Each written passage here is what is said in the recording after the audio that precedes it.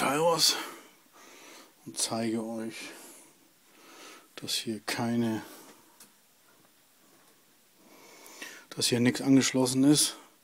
Hier blinkt nur der USB-Stick, ist ziemlich dunkel, scheiße. Muss mal eine Lampe holen. Klar, Moment mal. So, Tyros. Wie man sieht, haben wir da den USB-Stick drin. Da an USB ist da nichts angeschlossen weiter, wie man da sehen kann. Kein MIDI-Kabel angeschlossen, gar nichts. Ich habe hier nur meine vier Einzelausgänge, Stromkabel und sonst ist hier nichts dran. Nichts ist da dran. So, dann gehen wir jetzt nach vorne.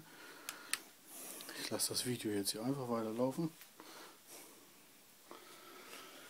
Ohne Unterbrechung.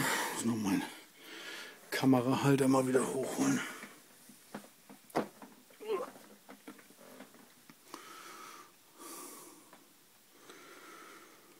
Kamerahalter zum iPad.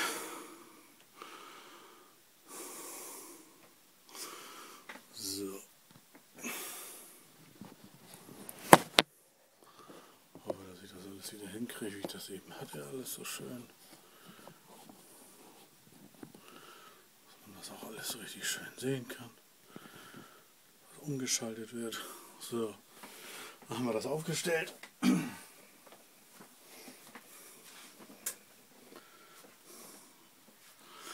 So, hier haben wir unser iPad. Kann man gut sehen. Kein Kabel dran. Nix. Alles per Weiles Land. Ich werde mal einmal zeigen, dass ich hier mit dem Tyros verbunden bin. Da können wir sehen, AP, Taurus S, bla bla bla. Ich bin mit dem iPad direkt mit dem Tyros verbunden. Jo. So, dann gehen wir mal in unser Songbook hier rein.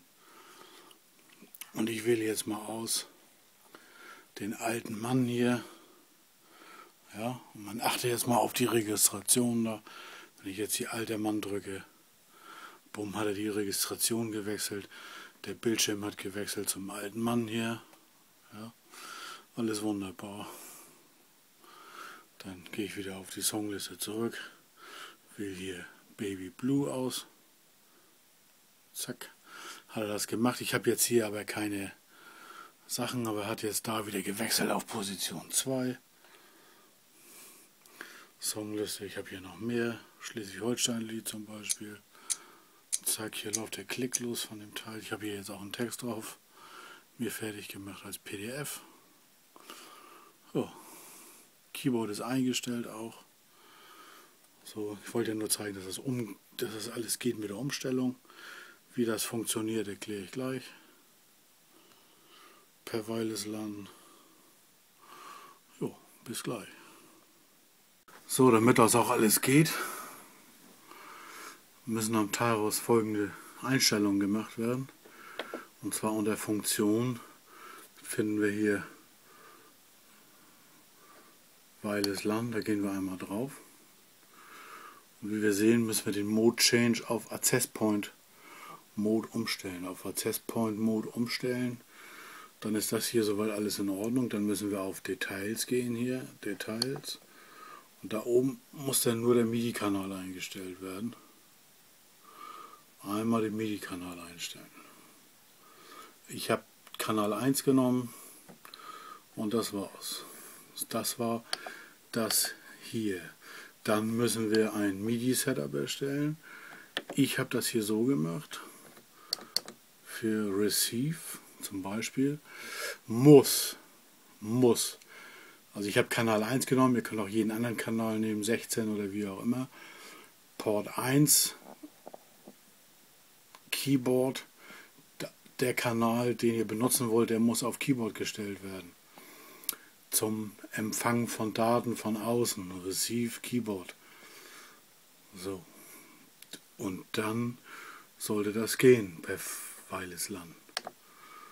So, und die Einstellung am iPad zeige ich gleich. So, da bin ich jetzt wieder und jetzt sehen wir die Oberfläche von meinem iPad. Und jetzt zeige ich euch, wie die Einstellung von dem Songbook sein muss. Ich gehe jetzt mal hier auf Einstellung. da bin ich jetzt hier schon im Songbook drinne. Vielleicht gehe ich erstmal woanders hin nochmal. So, gehe hier ganz runter auf Einstellung. Da finden wir dann das Songbook. Hier, da drücke ich jetzt drauf. Und dann bin ich jetzt im Songbook drinne und dann sehen wir hier MIDI-Einstellungen. Gehen wir in die MIDI-Einstellungen rein. Und dann ist hier ganz wichtig, dass hier der Kanal auf Kanal 1 eingestellt ist oder den Kanal nach euren Wünschen. Ihr müsst nur sehen, dass ihr bei Song den jeweiligen Kanal dann auf Keyboard umstellt im Teilhaus. so, was hier aktiviert werden muss, ist Wireless MIDI Client aktivieren. Und von Haus aus Standard ist der Tyros, wenn man den als Access Point laufen lässt, unter dieser Adresse, man kann auch eine andere vergeben, aber unter dieser Adresse ist er da drin und da müssen wir diesen, diese Nummer eingeben und dann geht die MIDI-Geschichte per Wireless LAN in den Tyros rein.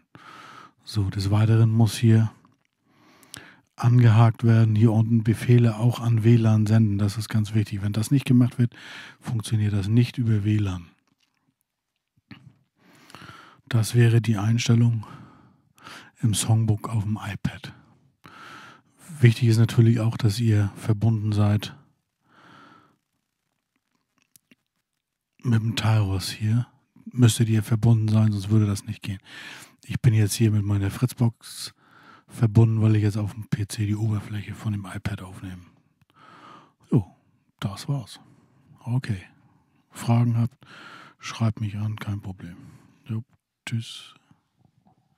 So wichtig ist noch zu erwähnen, dass wir hier, wenn wir hier auf unsere Einstellung gehen, im Songbook direkt, da gehen wir, finden wir hier MIDI Bluetooth Monitor öffnen das öffnen wir mal. Und wenn wir alle Einstellungen vorgenommen haben, haben das Songbook das erste Mal gestartet und alles ist da, dann müssen wir hier einmal MIDI neu starten sagen. MIDI neu starten. Und dann bekommen wir hier die Fehlermeldung für Source Edit, Yes und Destination Edit.